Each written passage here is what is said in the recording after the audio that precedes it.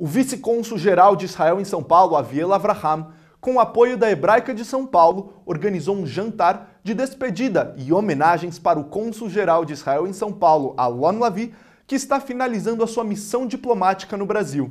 Veja como foi.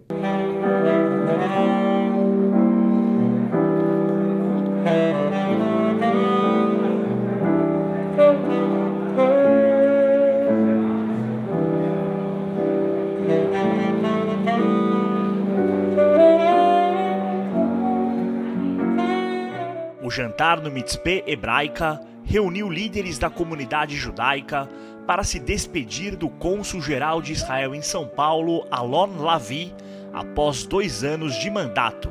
O diplomata nasceu em Netânia, uma cidade na costa de Israel, um pouco ao norte de Tel Aviv, mas passou a maior parte da vida em Modi'in, cidade onde os macabeus lutaram. Eu acho que é uma pena que é um período tão curto do Alon, que Alon é um, uma pessoa bastante objetiva, é uma pessoa que veio para fazer business entre empresas israelenses e brasileiras, trazer a bandeira de Israel na educação brasileira. E nós mesmo fomos para visitar algumas cidades, entre elas Sorocaba, e ele conseguiu incluir toda a parte do Holocausto no currículo de algumas cidades aqui no Brasil. A primeira vez que eu encontrei o Alon foi no México, uh, em 2019, quando a gente estava fazendo as preparações para a Macabia da, dos Jogos Macabeus do México. E o Alon era cônsul do México. E eu fiquei bastante impressionado com a interação, com a integração que ele tinha ali com a comunidade mexicana. E alguns meses depois o Alon aparece aqui. Então, o Alon trouxe para a gente uma, uh, talvez uh, não melhor, melhor do que outros cônsuls, mas com uma visão um pouco diferente, uma aproximação muito grande da nossa comunidade e da comunidade maior. Eu conheci ele particularmente em México, no marco também das Macabíadas, na qual a hebraica sempre é muito atuante. E tivemos a linda surpresa de sabermos que íamos contar com ele aqui. Por outro lado, Covid-19, momentos difíceis para todos nós, trágicos para muitos, infelizmente. E então tivemos que superar muitas adversidades e ele com a família dele, um dos desafios maiores que tocou para ele em dois anos, em definitiva, de atuação. Então, evidentemente, superou todas as expectativas. Durante os dois anos que esteve em São Paulo, Alon fortaleceu os laços com a comunidade judaica local e potencializou a ligação entre Brasil e Israel. O Alon ele aproximou o consulado de Israel para dentro da comunidade, fez várias atividades conjuntas com a comunidade judaica, sempre o consulado foi uma extensão de Israel de verdade com portas abertas. E em todo esse processo de conhecimento, ele também nos trazia muita experiência de Israel, atualizando as informações, contando como as coisas andavam por lá. Fez um mandato maravilhoso. A gente deseja para ele, esposa e filhos, que eles vão voltar para Israel, que eles tenham aqui sempre uma porta aberta da comunidade judaica paulista e com muito carinho desejar para eles um bom retorno. E ele agiu como um pacificador, ele foi um diplomata na acepção da palavra e deixa um legado, porque ele, ele botou a casa em ordem e ele está saindo com a sensação, e nós também, do dever cumprido. Né? E é um amigo de todos, uma pessoa do bem, um, uma falta muito grande nós vamos sentir. Vamos pedir para que o sucessor dele, pelo menos, seja igual. Em dois anos, vimos um cônsul ativo, sempre participando de atividades gastronômicas, esportivas, aventureiras e também inaugurando praças em homenagem a Israel.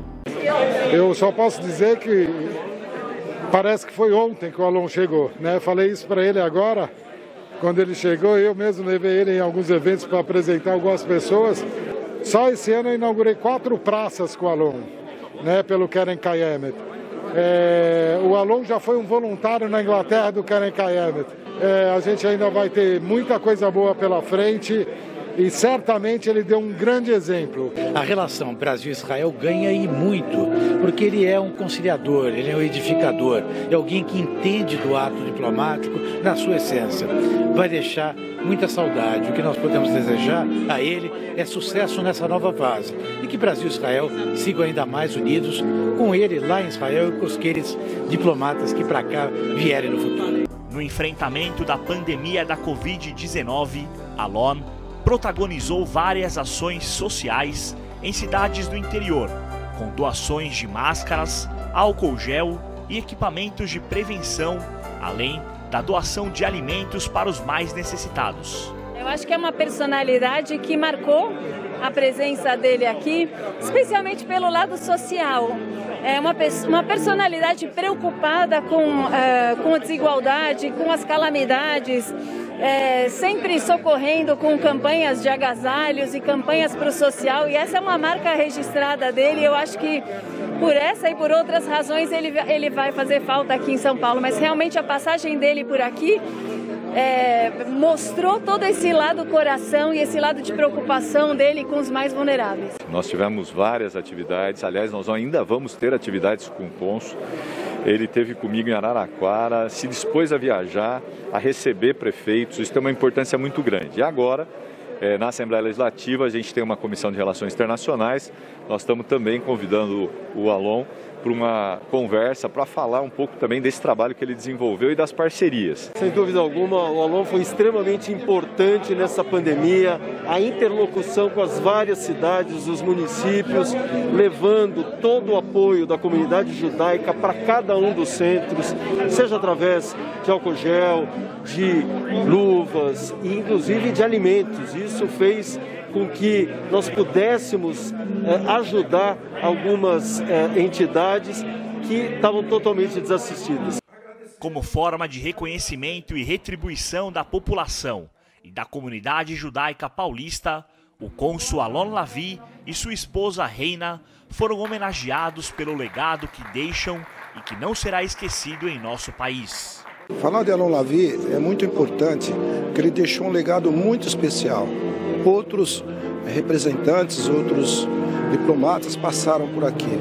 Mas Alon Lavi, em tão pouco tempo, ele deixou uma grandeza de amizade, ele deixou importante é, exemplo de como se faz realmente entrelaçar duas nações. O Alon é um homem de bem, é uma pessoa que agrega. E num momento tão difícil que Israel estava vivendo e está vivendo, ele mostrou para a nossa comunidade, para a comunidade maior, que Israel é muito mais do que a pátria dos judeus.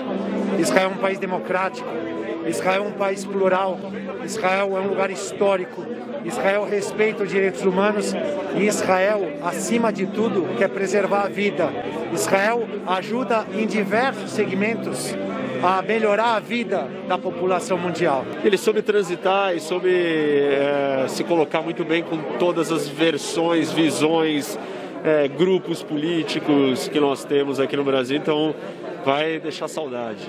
Sempre motivado em fazer seu trabalho e com extrema dedicação, Alon Lavi vai deixar saudades não só para a comunidade judaica em São Paulo, mas para o Brasil onde fez a diferença. Quero primeiramente talvez eh, aproveitar esta oportunidade de dizer que eu gostei muito de São Paulo, nesta região, e, e desde o primeiro dia eu tentei de conhecer mais partes da sociedade do estado de São Paulo e outros estados aqui, estados do sul. E, e, e nos últimos dois anos podem ver que o consulado fez muito para colocar juntos os dois povos, o povo de Israel e o povo do Brasil, e, e criar parcerias entre os países. Eu visitei cidades no interior eh, de Araraquara, eh, Campinas, eh, Mogi dos Cruzes, São Vicente Santos e, e, e muitas mais eh, cidades. Nós eh, doamos muita eh, para as necessidades locais aqui na cidade e fora da cidade. Durante a pandemia nós tentamos de apoiar eh, comunidades carentes com eh, comida, com cestas básicas, com equipamento para lutar a coronavírus. E também fizemos muitas atividades na área de cultura eh, para levar um pouco da cultura israelense aqui em São Paulo. Então, para mim foi ótimo